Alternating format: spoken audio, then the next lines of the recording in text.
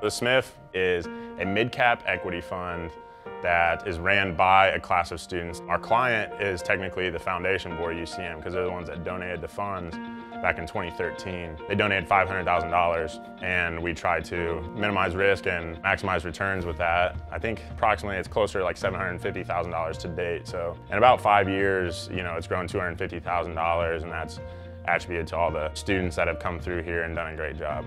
It kind of gives the opportunity to students to do something more than just classes. Uh, so we get real world experience. We get to learn about companies uh, in a way that helps us build our uh, presentation skills and communication skills. We get to meet professionals in the field of finance that look for candidates like the students in the SMIF.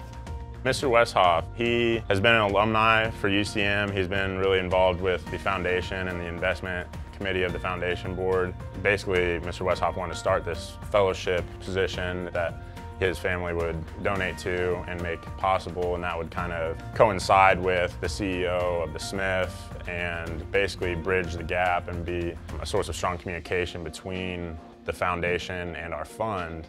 I got involved with the student managed investment fund and started thinking about why don't we do a fellowship here, also start being able to see the benefits of who receives the money, building a relationship with them, and you see the students and you see all the efforts that are made and being invested in student success, then you say, hey, I want to be a part of that.